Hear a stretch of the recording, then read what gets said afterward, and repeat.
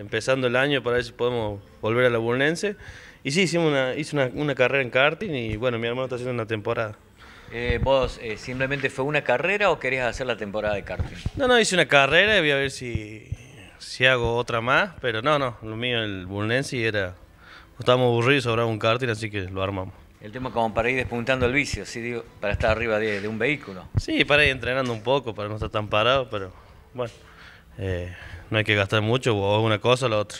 Marcos, eh, ¿cómo se viene el año teniendo en cuenta que hablan de que es muy posible que la semana del 18 de marzo comiencen las competencias de, car- de, de la Fórmula Bonense? Sí, han informado que el 18 supuestamente arranca y bueno, yo estoy laburando mucho en el auto en tema de estética, que lo estamos... Ayer fui y desarmé, me traje el motor y bueno, lo vamos a pintar. Eh, ¿Vas a pintar el auto seguramente con nuevos sponsors y demás?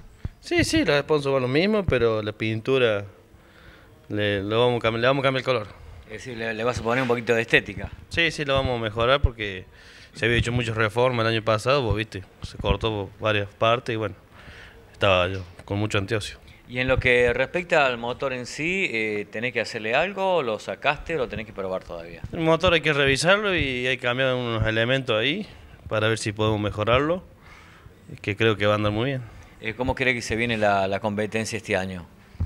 Bien, por lo que se habla, va, lo que es la categoría nuestra, bien. Puede ser que remonte las otras para que no se pierda esto que es tan lindo. Eh, se habla de que muy posible auto de Fórmula Bunlense puede haber entre 14 o 15. ¿Vos qué, qué noticias tenés?